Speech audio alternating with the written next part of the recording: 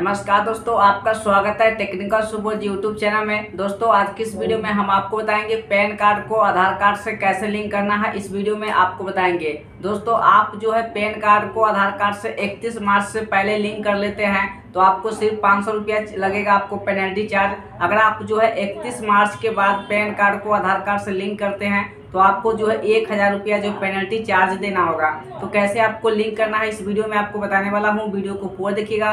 Video आपको पसंद आए तो वीडियो को लाइक कीजिएगा, हमारे यूट्यूब चैनल को सब्सक्राइब कीजिएगा और कॉमेंट करके बताइएगा। तो चलिए वीडियो शुरू करते हैं, आपको स्टेप बाय स्टेप बताते हैं। गूगल में आपको सर्च करना है इनकम टैक्स का वेबसाइट आएगा। सिंपली आपको इनकम टैक्स पे क्लिक कीजिएगा। उसके बाद दोस्तों यहाँ पे ध्यान से देखना है, पैन कार्ड को आधार से लिंक करने के लिए इनकम टैक्स का वेबसाइट देखिए। यहाँ पे ऑप्शन आपको मिलेगा, लिंक आधार। जी हाँ दोस्तों, लिंक आधार वाले पे क्लिक कीजिएगा। उसके बाद आपके सामने जो है, आपसे पूछा जाएगा, पैन कार्ड नंबर। तो आप अपना इस बॉक्स में पैन कार्ड नंबर और फिर आपको नीचे जो है, यहाँ पे आपको आधार नंबर दीजिएगा। दोस्तों, इसको हम ब्लर कर दिए हैं क्योंकि पैन कार्ड यूट्यूब पे दिखाना ये लीगल नहीं है। तो पैन कार्ड अपना और आधार नंबर देने के बाद आपको जो है थोड़ा सा नीचे स्क्रॉल करना है, ठीक है? तो दोस्तों, तीन स्टेप में जो है यहाँ पे पैन और आधार लिंक होगा। अगर आपका लिंक होगा तो ऑलरेडी लिंक दिखाएगा। अब देखिए, यहाँ पे पैन दिए, अब वैलिडेट पे हम क्लिक कर लेते हैं। उसके बाद ऑप्शन आएगा देख सकते हैं, एक हज़ार रुपया देना होगा आपको पैन कार्ड से, आधार कार्ड को, पैन कार्ड को आधार कार्ड से लिंक करने के लिए एक हज़ार रुपये आपको लगेगा। तो ये है दोस्तों, परफेक्ट जानकारी। और यहाँ पे continue to pay through e pay tax पे क्लिक कीजिएगा। उसके बाद आप अपना पैन कार्ड नंबर दोबारा दीजिएगा। और तो जो भी आपका पैन कार्ड नंबर है, आप टाइप कीजिएगा और टेन नंबर में आपको पैन नंबर ही देना है, ठीक है? दोनों में आपको जो है पैन नंबर ही दिया जाएगा।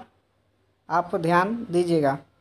तो सिंपली हम पैन नंबर दे दिए हैं और आप अपना मोबाइल नंबर दीजिएगा। कोई भी नंबर यहाँ पे टाइप कर दीजिएगा, ठीक है?